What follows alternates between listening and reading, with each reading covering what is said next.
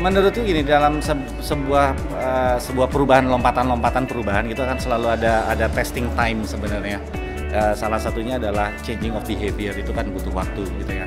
Dari dari non digital ke digital itu pasti mempersingkat waktu, tenaga segala macam. Tapi kita ini lagi ditantang saat ini uh, untuk uh, kita akan kehilangan human touch atau enggak karena seolah-olah tadi kayak uh, misalnya contoh soal pesan makanan online segala macam seolah-olah kan mudah ya seolah-olah. Tapi kan kita jangan-jangan nggak pernah berpikir bahwa ada orang yang nunggu makanan itu selama setengah jam ngantri kayak gitu gitu artinya ada tetap ada human being di belakangnya. Nah aku takutnya sih sebenarnya perubahan-perubahan ini tidak kami gitu ya para para kemudian pelaku uh, bisnis bisnis digital tuh juga harus aware bahwa sedigital apa pun yang terlibat manusia bukan kode.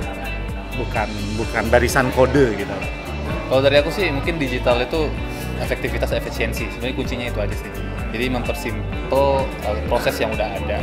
Dan memang kalau misalnya kita ngomongin digital itu langsung kita bakal bisa ada limitless possibility. Jangkauannya langsung global. Nggak hanya region lagi daerah lagi. Gitu. nah itulah yang menyebabkan digital ini sebenarnya opportunity yang semua orang bisa kok masuk di digital. Jadi nggak perlu takut untuk melihat big player gitu. karena marketnya nggak akan pernah habis kok apalagi untuk travel dan tourism. Itu selalu meningkat setiap tahun. Gitu sama sih kurang lebih dengan adanya digital region tuh batasannya udah udah kebuka lah. Semua produsen lokal ibaratnya bisa masarin marketnya global. Dan kita dengan era informasi di digital, dengan lebih mudah juga kita bisa sourcing sih. Saat ini kalau kami di Frame Trip kan ngejarnya profesional fotografer yang sifatnya lokal. Dengan adanya dunia digital, kita bisa tuh nemuin mereka-mereka yang posisinya ada di kota-kota terpencil sekalipun untuk kita jadi sourcing uh, produk kami. Gitu. Kalau di open trip sendiri kan memang malah kita nggak fokusin ke experience-nya memang gitu kan jadi memang di situlah kita coba networking tadi value networking tadi yang kita coba uh, fokusin lagi gitu ketika mereka nge-trip justru kalian berinteraksi bukan cuma ke nature, ke situs atau segala macam, tapi orang-orang yang ikut sama kalian, trip leadernya, orang-orang lokal itu, itu yang memang harus uh, punya pengalaman juga di situnya gitu. Jadi memang di kita value networkingnya, value humannya itu masih kita kuatin banget.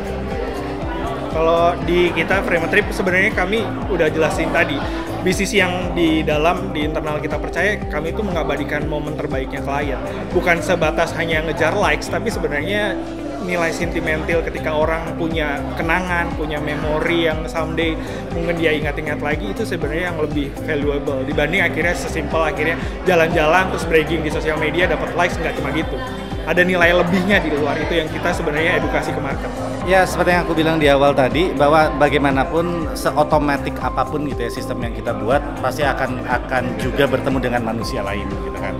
Di situ kemudian networking itu uh, menurut saya kan bukan sekedar uh, bahwa ini gue punya harga sekian, lu punya harga sekian, mari kita bernego. Tapi kan juga jangan-jangan malah menemukan bentuk kesepakatan-kesepakatan uh, baru yang kemudian ada perspektif baru nih. Misalnya kayak ketika kami uh, berjejaring dengan trip uh, leader lokal gitu kan ya.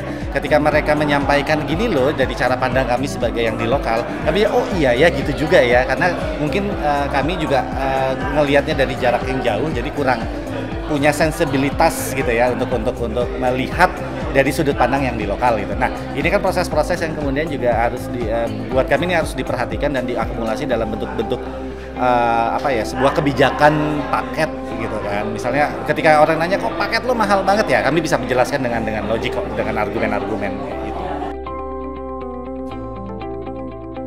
Oke, di, di, di obrolan tadi selama diskusi sebenarnya ada satu hal yang uh, aku sama David sepakatin, insurance. Insurance kita nggak tahu ya masih konvensional sekali kayaknya di sini. Jadi harganya juga nggak kompetitif. Padahal e, itu dibutuhkan sekali untuk untuk bisnis kita gitu. Dalam dalam banyak aspek ya.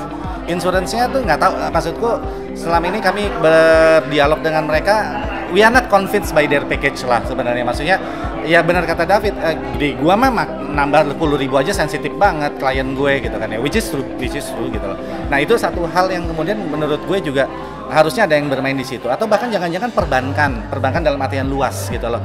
Kami ini para startup dalam bentuk apa pun sebenarnya itu tidak punya jaminan sistemik gitu loh terhadap bisnis kami di, di, di, di konteks itu. Artinya gini uh, tidak dalam kerangka venture capital doang sih sebenarnya. Ada sistematika sistematika dan logika baru sebenarnya di approach kepada kami dari berbagai aspek karena menurutku ini bukan hanya masalah uh, transaksi di, yang menjadi digital dan segala macam tapi kan security dan kami juga sebenarnya harus diajarin loh soal soal insurance. Kalau aku sebenarnya kan kalau traveling ini ada tiga ya yang paling penting itu uh, connectivity, air connectivity, terus amenities, sama attraction gitu kan. Nah, justru yang sebenarnya paling dasar itu connectivity sih. Bagaimana menghubungkan pulau-pulau di Indonesia, bagaimana menghubungkan travel-travel lewat transportasi-transportasi lainnya seperti itu. Nah, yang paling belum disentuh mungkin ya transportasi tradisional kayak kapal-kapal itu masih belum banget gitu kan. Misalnya itu itu aja udah peluang yang sangat besar itu Iya. menurut saya. ya mencoba melengkapi mungkin ya kita juga saat ini kan kami hitungannya startup ya. Jadi dukungan pemerintah dengan infrastrukturnya dan lain sebagainya itu bisa membuat bisnis kami juga sebenarnya lebih sustain sih. Itu harapannya deh.